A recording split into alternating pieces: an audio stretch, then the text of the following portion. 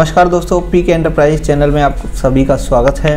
तो दोस्तों, आज की वीडियो में बताने वाला हूँ, जो भी हमारे बीएलई भाई सीएसपी भाई और जो भी एपीएस यानी Aadhaar enable payment system use कर रहे हैं, उनको पेमेंट करने में काफ़ी सारी प्रॉब्लम्स फेस हो रही हैं। तो उन प्रॉब्लम्स का सॉल्यूशन क्या है, समाधान क्या है आज इस वीडियो के माध्यम से बताएँगे। अगर अभी तक आपने हमारे यूट्यूब चैनल को सब्सक्राइब नहीं किया है तो जल्द से जल्द हमारे यूट्यूब चैनल को सब्सक्राइब करें, साथ ही लाइक, कमेंट, शेयर भी करते रहें और बेल आइकन प्रेस करना ना भूलें ताकि आने वाला नोटिफिकेशन मिल सके आपको।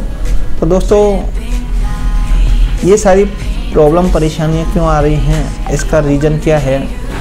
वो सारी चीज़ों को देखेंगे। कभी कभी आप कर रहे हैं अकाउंट ब्लॉक दिखा रहा है, या डिक्लाइन हो रहा है तो काफ़ी सारी समस्याएँ आ रही हैं, या इनवैलिड एरर आ रहे हैं तो इन एररों को कैसे हम दूर कर सकते हैं? तो दोस्तों, बहुत ही ईजी स्टेप है।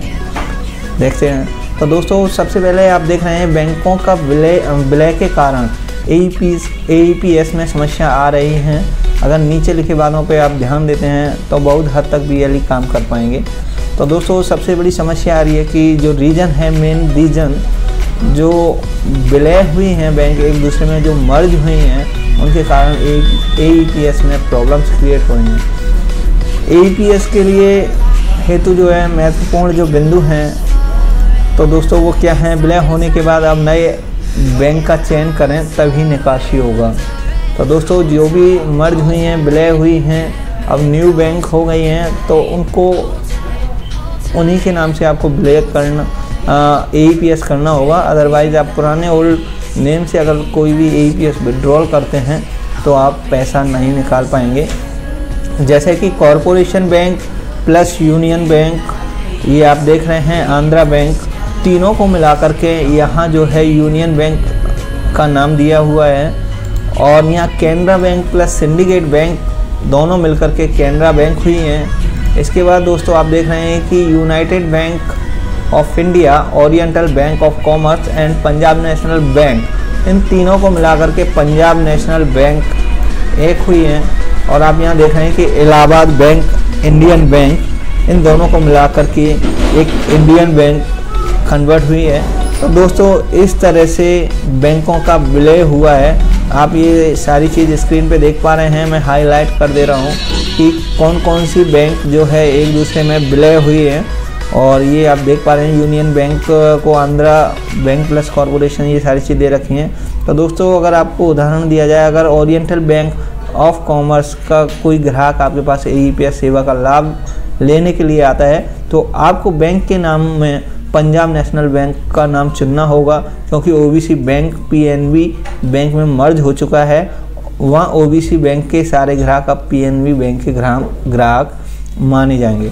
तो दोस्तों, जो ओरिएंटल बैंक के जो भी ग्राहक थे, वो अब पीएनबी हो चुके हैं। पंजाब नेशनल बैंक में कन्वर्ट हो चुके हैं तो वो पंजाब नेशनल बैंक माने जाएँगे।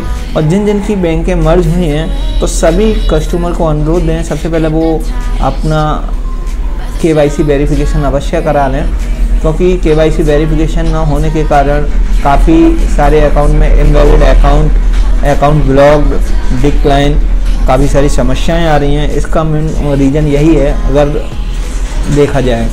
और बाकी आप जो ये बैंक्स के नाम दिए हुए हैं, वो आप यूज़ करें। तो आपका जो ई पी ट्रांजेक्शन है, वो बिल्कुल सक्सेस होगा। ये सब बैंक नाम चुनने से रुपया नहीं निकलेगा क्योंकि ये बैंक दूसरे बैंक में मिल गए हैं।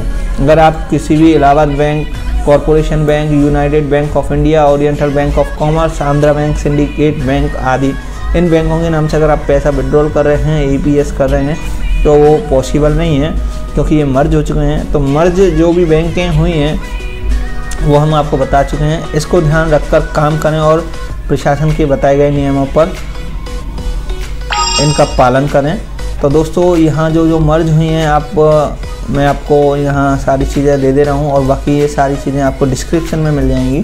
तो दोस्तों, आशा करता हूँ कि इस वीडियो के माध्यम से आपको होने वाली परेशानियों से बचाव होगा और आप इन चीज़ों का विशेष ध्यान रखेंगे।